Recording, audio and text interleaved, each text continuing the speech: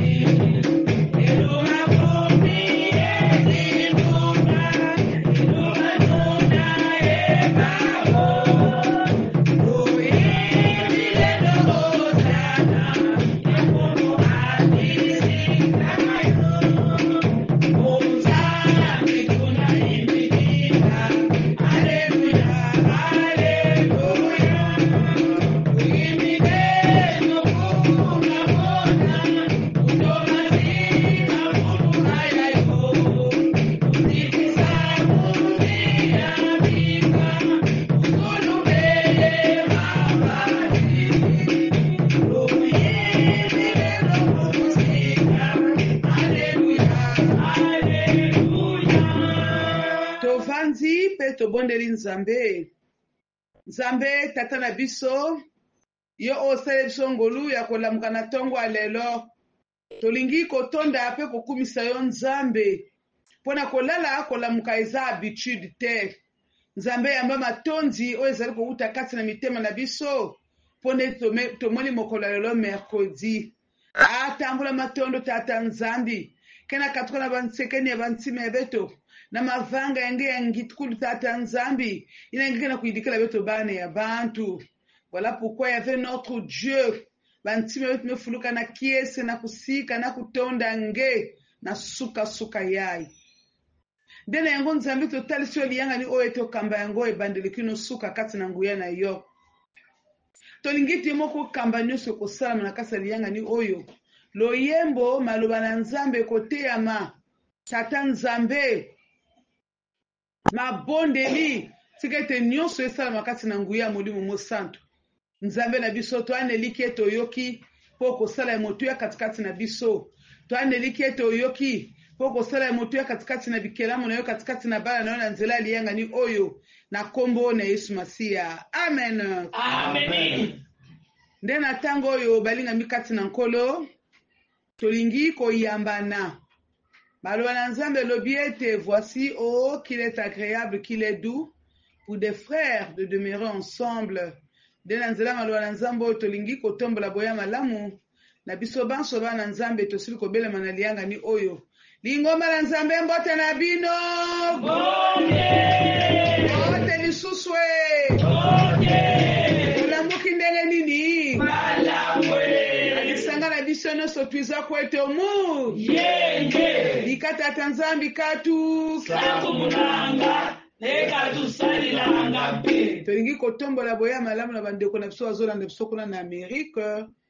Na Europe, na Asie, na Oceanie, na Afrique mobimba mpe na Congo na biso, boya malamu na Commission technique ya Paroisse ya Wenze, boya malamu na basali na Nzambe.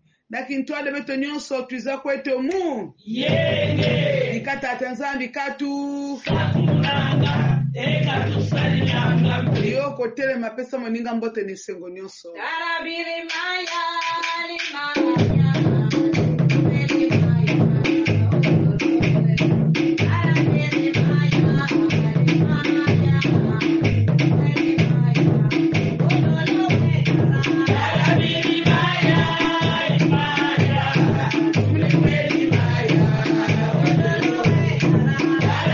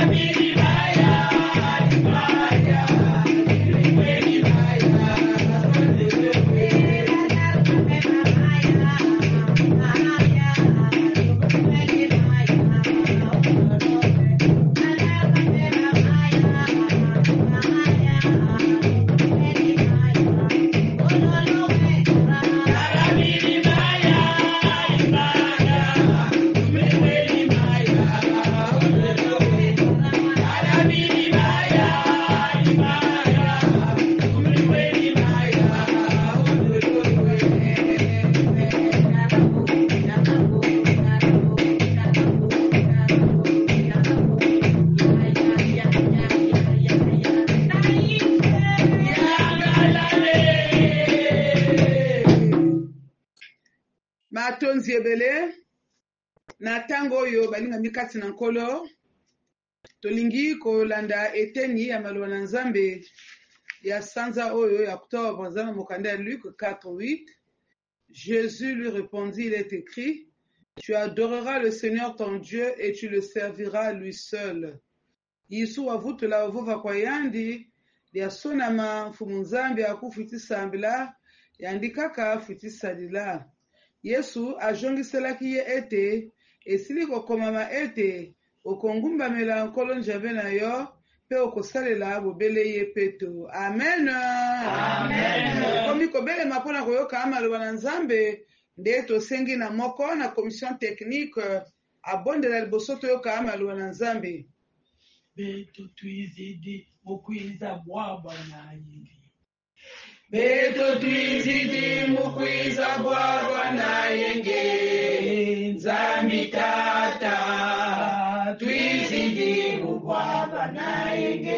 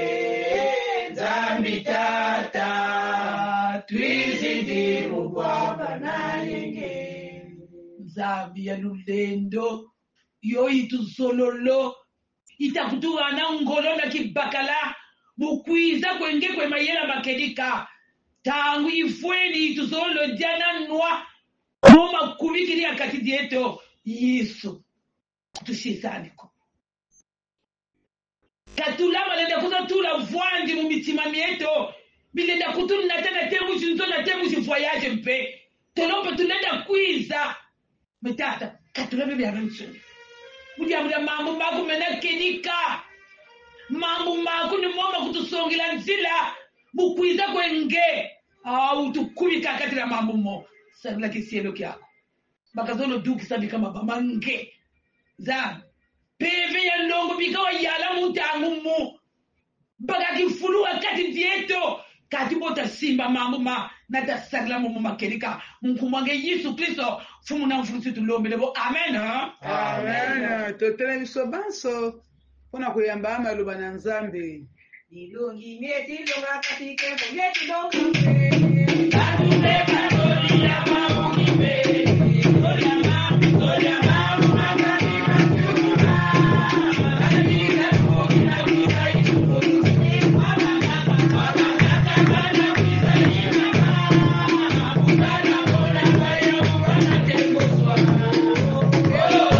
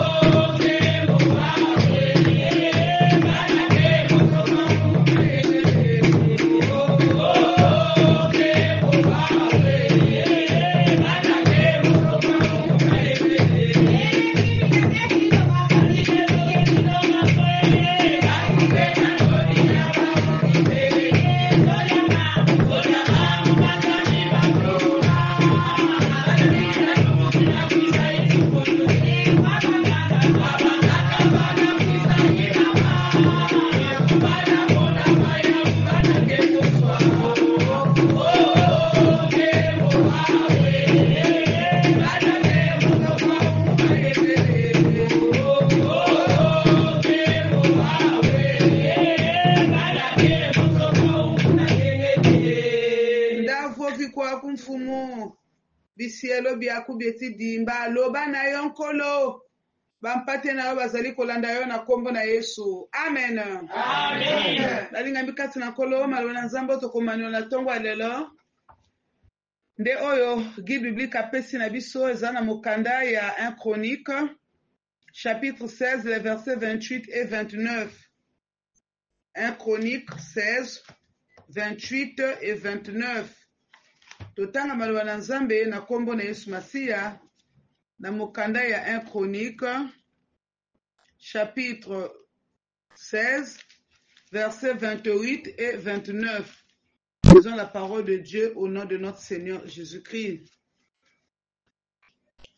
Peuple de la terre, reconnaissez la gloire et la puissance du Seigneur.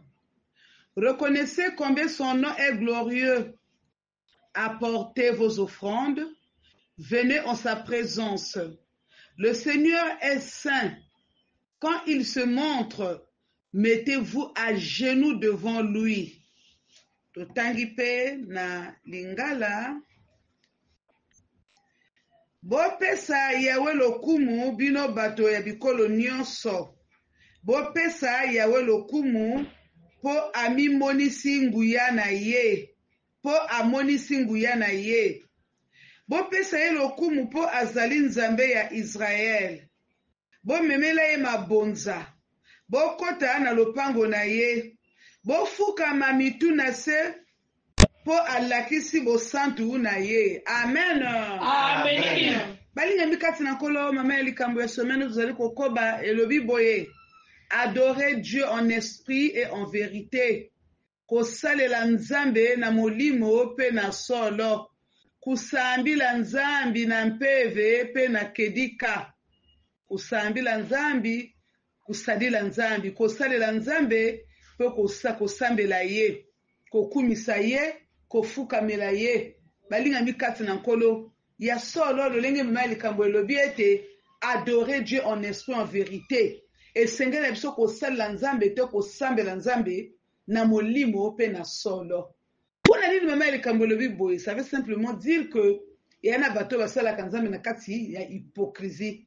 Azali kolakisa ete azali mwana ya Nzambe, azali mosambeli, to azali kosalela Nzambe to azali kosambela ye mais azali kosala ye kaka na kati na hypocrisie, soki balandi bomoi na ye malamu malamu, Nzambe azali kati na ye te. Voilà pourquoi balobi ete adorer Dieu en esprit en verite. Parce que bato mingi bakomi kosala Nzambe kaka na mosuni, na, na lokuta, na bambebo, na bambebo mwana Nzambe, na bizaleli mwana na Satana. Kakiadi ko? Kiadi. Voilà pourquoi na kati na maloba na Nzambe oyo totangi balingami kati na Nkolo, na maloba na Nzambe oyo totangi Na kati na mokanda ya liboso ya Chroniques, bana-Nzambe bazali kotalisa biso na chapitre 16 oyo lolenge nini bana-Nzambe bakoki kosala. Balobi ete les Levites chantent la louange du Seigneur et donc na kati ya chapitre 16, Ba-Levite nde bazalaki baponami, bo bazalaki kosalela Nzambe, bango parmi les tribus d'Israël, bango baponaki bango uniquement na kozala au service ya Nzambe na kati ya temple na ye, kosala, kosala mosala ya Tata Nzambe. Voilà pourquoi alobi ete awa, les Levites chantent la louange du Seigneur, bazali koyemba lokumu ya Tata Nzambe, bazali kokumisa Nzambe. Mais à partir ya chapitre, ya verset 28, Balobi boye na kati na maloba na Nzambe oyo totangi, Mabota nyonso, peuples de la terre, mabota nyonso awa na mokili, bopesa Yawe lokumu, bopesa Yawe lokumu, bino bato ya bikolo nyonso. Peuples de la terre, reconnaissez la gloire et la puissance du Seigneur, bopesa Yawe lokumu. Tokopesa ye lokumu mpo na nini? Parce que bobele ye moto abongi na lokumu. Ezali na moto mosusu akokani na ye azali te. Lokumu na masanjoli esengeli topesa yango bobele epai na Tata Nzambe. Voilà pourquoi awa mokomi na mokanda oyo alobi ete, Peuple de la terre, reconnaissez la gloire et la puissance du Seigneur. Na Lingala balobi ete, Bopesa Yawe lokumu, bino bato oyo ya bikolo nyonso, Bopesa ye lokumu mpo amonisi nguya na ye. Bopesa ye lokumu mpo azali Nzambe ya Israël. Awa na lopoto balobi nini? Balobi ete reconnaissez combien son nom est glorieux, apportez vos offrandes, venez en sa presence. Le Seigneur est saint quand il se montre. Mettez-vous à genoux devant lui. Bokumisa Yawe, bino ya bikolo nyonso, bato nyonso awa na mokili, bokumisa Yawe, mpo ete ye abongi na lokumu. Boyeba ete ye azali mosanto, bomemela ye mabonza, boyaka liboso na ye. Nzambe azali Nzambe oyo azali mosantu, le Seigneur est saint quand il se montre. Alors, na tango azali komimonisa na bino, bongumbamela ye, bofukama liboso na ye, parce que ye esengeli ayamba lokumu oyo ezali kowuta epai na biso bato oyo akeli na elilingi na ye. Libundu sikama. Siama, tata mama nous. Talo ya Nzambe oyo ezali kolakisa biso bobele lolenge esengeli tokumisa Nzambe. Comment adorer l'Eternel, comment adorer Dieu. Lolenge na esengeli tokumisa Nzambe. Lolenge na esengeli tosalela ye. Awa balobi ete ntango oyo azali komimonisa na biso esengeli tofukama liboso na ye. Bato mingi bazali kofukama banzambe ya kokufa. bato mingi bazali kofukamela bikeko. Okomona atiali mwana Nzambe akoyaka kutu na eglise me na ndako na ye afukamelaka ekoke. Esengo mawa afukamela ekeko na kati na ndako na ye na chambre na ye yanike na mwa statut ya ligidikaka nini yanike sambilaka yake likiadi yanike na mwa akima litulaka ezala ekeko statut ya, ya, ya, ya, ya, ya nyama zamba ezala ya ndeke ezala ya eloko na eloko ezala ya moto lobi tulaki fuiti ya muntu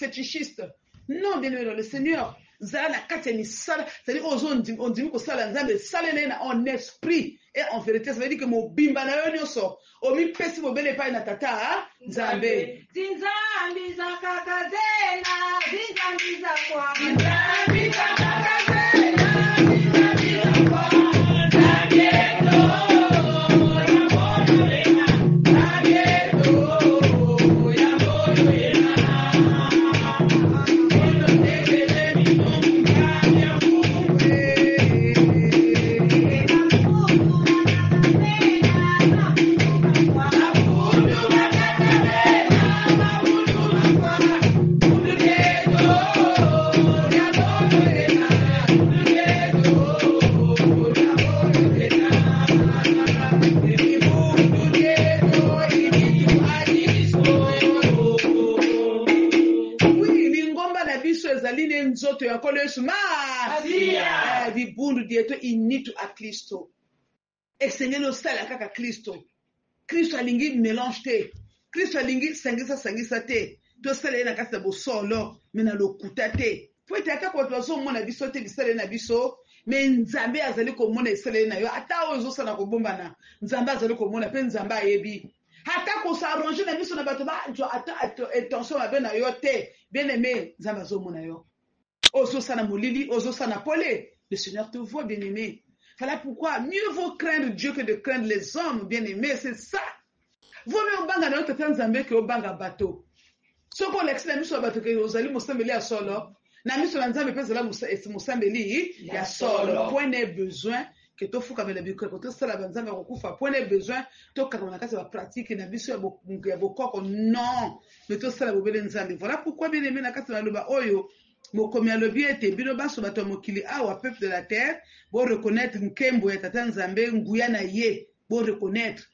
Soki tozo reconnaitre nguya ya Nzambe, tokoluka lisusu ba nguya mosusu te. Kala beti kaka kobakula lolendo ya Tata Nzambe. Beti nde na soda yaka lolendo kaka ve. Beti nde na kona soda yaka ba Nzambe kaka ve parce qu'on reconnaît la puissance de notre Dieu que nous prions. Mais soki ozo reconnaitre puissance ya Nzambe te, voilà pourquoi ekotinda yo okende luka ba Nzambe ya mike mike mike. Hein? En dehors ya Nzambe ya na Nzambe mosusu te. En dehors ya Jésus, il n'a pas un autre Dieu bien-aimé. Zala kaka na Nzambe moko, Tata Nzambe na Yesu Masiya mwa likina na Nzambe. Voilà pourquoi il dit reconnaissez combien son nom est glorieux. Na tango ozo reconnaître lolenge nini kombo na Nzambe ezali kombo ya nkembo, kombo na nguya, mais apportez vos offrandes. Bomema mabonza na bino. Bomema offrandes epai na Tata Nzambe. C'est la Bible qui le recommande, bien aimé dans le Seigneur. Apportez vos offrandes. Bato mingi bayaka na ndako na Nzambe maboko pamba. Ça veut pas dire qu'il n'a pas de moyens, il a l'argent. Il a des moyens, maintenant il se dit que akende na église, atiki mbongo, akende kosambela azongi. Non, tu es ingrat. Et puis balosu balobi tu es pingre. Na tata Nzambe faut koyeba kokabola tata Nzambe. Quand tu as quelque chose yo odio yango na ngolu ya tata Nzambe. C'est Dieu qui t'a béni. Nzambe apamboli yo poko zwa eh, eh, mbongo oza na yango. Nzambe apamboli yo poko zwa richesse, tout ce que tu as. Hein? L'apôtre Paul alobi nini? Par la grâce de Dieu, je suis ce que je suis. C'est par la grâce de Dieu. Il reconnaît que c'est par la grâce de Dieu yaza musa na Nzambe. C'est par la grâce de Dieu ya Dieu oyo aza na yango. Biso pe pa na ngolu ya Nzambe todi oyo toza na yango. Esengeli toyeba kopesa na Nzambe as offrande. Comment yo mwana nzambe ojua courage ya koyaka eglise et tu sors du temple sans meme opesa offrande na tata nzambe quand tu n'as rien ok le seigneur le sait que tu n'as rien mais quand tu as quelque chose ekopesa eloko te mais obima na moto ya monime na yesu na nzambe à ce moment tu penses que nzambe akokabola yo Est-ce que okanisi que nzambe donc vous croyez que hein, l'amour na biso na nzambe c'est comme si yali l'amour eyaka na sens moko Se nzambe alingi biso apesaka biso apesaka biso nzambe pesa ngai mais yo pona epesa eloko ya motuya comme offrande na tata nzambe asiki bien aime soki oza na monimi oko rekolte pe monimi wana awa balobi na biso nini en fait c'est une recommandation c'est comme un impératif ici balobi nini apportez vos offrandes quand vous reconnaissez combien son nom est glorieux comment le nom de Dieu est glorieux mais apportez vos offrandes Boyebi ke Nzambe, kombo na Nzambe eyali glorieux, eyali kombo ya nkembo, eyali kombo ya nguya, mais memela ye mabonza. Ye akoki kopesa mabonza mpo na fonctionnement ya lingomba na ye, ye akoki kopesa mabonza mpo na lingomba na ye ekende liboso, soutenir oeuvre na ye, c'est ça. Mais soki yo oyebi te que kombo ya Nzambe eyali, c'est-à-dire oyebi Nzambe oyo ozosambela te, oyebi nguya na ye te, oyebi neti nkembo na ye, eh, kombo na ye ezali eh, kombo na nguya, à ce moment-là okopesa eloko te, ya des gens qui pensent même que anga nakopesa bato balia mbongo wana nakopia te ah non wa monimi soki opesi bato bali bango bakorekolte na tata nzambe mais toi donne seulement pour soutenir l'œuvre de dieu mbala boni opesa tela mosusu baprogramme ke anga na semaine apiaka dimanche tous les jours tu viens au culte bras ballon Opesa eloko te mais ozwa petit dejeuner olia na midi olia na pokwa mafuta ezanga te eloko ya toilette ezanga te mais pona kokanisa na mosala ya Nzambe na kopesa Seigneur na pesi oyo nayoki maloba na Nzambe na pesi oyo pona tata Nzambe tosalaka yango te mais la Bible le recommande hein?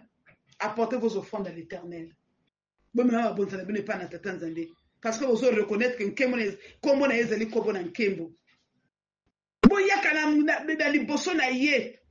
Nzambe azali Nzambe na nguya. Na ntango oyo azali komimonisa, bomikitisa. Lelo tokomona lisusu Nzambe te na pwasa lolenge Moïse amonaki Ye na Mont Sinai, na elembo na moto. Lelo tokomona Ye te ti akita boye tomona Nzambe, mpo tofukama, non. Mais tozomona Nzambe à travers maloba na Nzambe ezotema. Mais, mais, mais Jésus, c'est la parole de Dieu. Tango maloba na Nzambe ezotema. Mais c'est Dieu qui nous parle. Tozala na kati ya komikitisa. En fait, ezosenga na biso humilité. Tomikitisaka liboso na Nzambe. Tofukamela ye. Tosanjola ye. Tofukamela bato te. yo na ndako na yo ofukameleka nani en tout cas banda lelo soki ozali na, na, na, na, na eloko osalaki na ndako kuna yo ofukamelaka yango attention pelamosi eh, okoki kofukamela moto te Il y a des gens même qui adorent les êtres humains. Ce n'est pas normal. Osambela moto. Moto ye moko ayi na mokili oyo na nguya ya Nzambe. Eh, akumeba misusu meme bato yango bakufa. Oh, tata kingandi, mama kingandi, ofuka mauju kifuiti na yo ti wana, okoba ofuka na yo. Oh, non. Quelle abomination, c'est de l'idolâtrie bien aimé. Kosambela moto te, kofukamela moto te. Kofukamela pe ange te regarder. Maloba na Nzambe totangi lobi mardi alobi nini? Na ntango oyo Yoane asili komona vision wana na ile ya Patmos, ntango anjelu apesi ye message wana, a la fin du message, ye alingi afukamela ange, ange alobi, non, non, non, non, non, non, non, non, ngai naza kaka ekelamu lokola yo, lokola bas apotres, lokola bato nyonso bakoyoka maloba oyo, tu ne peux pas m'adorer, non, il faut adorer l'Eternel seul,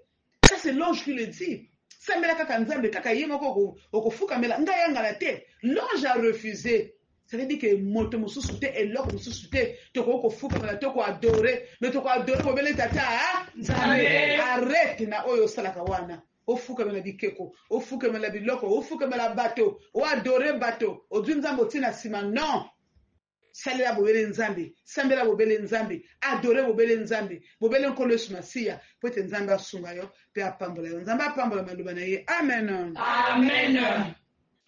Totala biso banso bapesa biso eteni ya nzembo liboso tokota na mabondeli.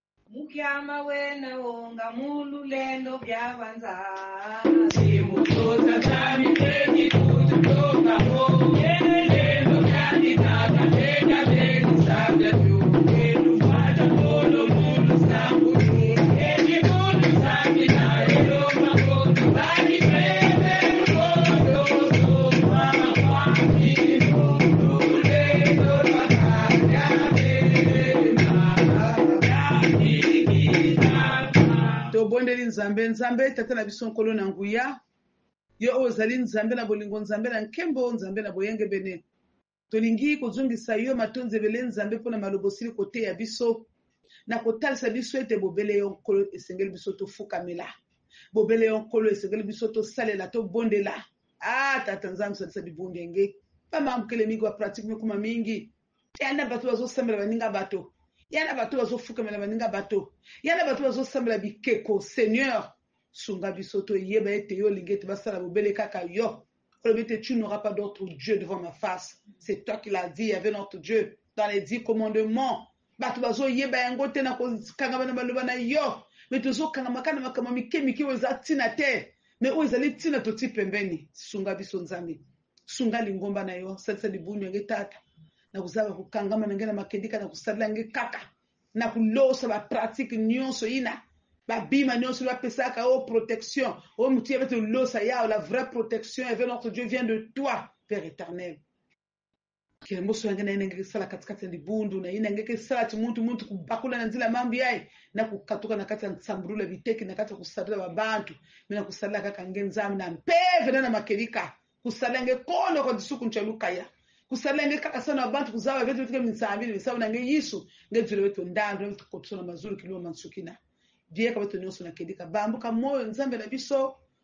na bana nayo baza na mikili ya etranger kuna Amerique, Europe, Asie, Oceanie ba ya mingi baza na kati na pasi mikanda ezali te oh nzambe bakoti ba dossier na ba prefecture parti par là azoluka titre de séjour azoluka nationalité yo ozali mopesi na nyonso nzambe sembola loboko na nguya likola badosie wana bango bazwa mikanda au nom puissant de jésus pesa bango batitre de séjour banationalité pesa misala pesa bandako balogement mais ba logement ya malamu kote ba kovanda sans problème tata nzambi wila bayenge bana bazoluka bandako kuna na étranger bazoluka ndako na bas agence bazwa bandako ya malamu kote ba kovanda en sécurité parce que ozali mobateli ya solo yo olobi na biso ete si vous demandez quelque chose mon nom je le ferai Voilà pourquoi tozo senga na yo Nzambe sunga biso nionso à travers malobo tosili koyoka. Quelle que soit situation ya moto, quelle que soit pasi na ye, quelle que soit bokono ezali na ye, tika ete na nguya na yo na ntongo ya lelo moko na moko azwa eyano mpo ta tatola bonene nzambe na nkombo na yesu masiya tosengi obele boye amen amen tokomi na suka liyanga na biso nde kozongisa matondi ebele na bino banso bosili kolanda liyangani oyo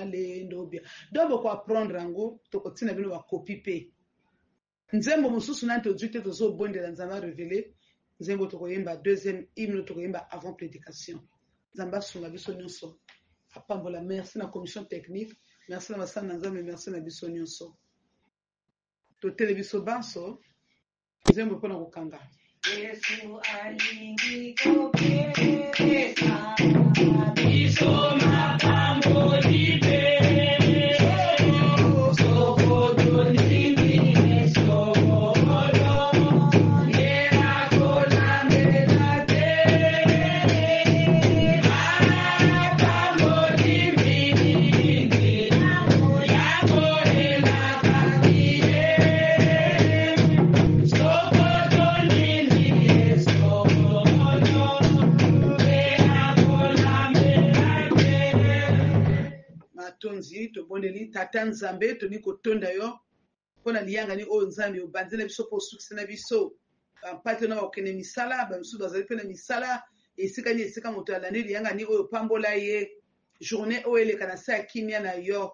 Kumisama, sanjolama mpe netolama. Kanisela milulu ya mabondeli tokokota mpo na kosukisa mvula na kati ya mabondeli.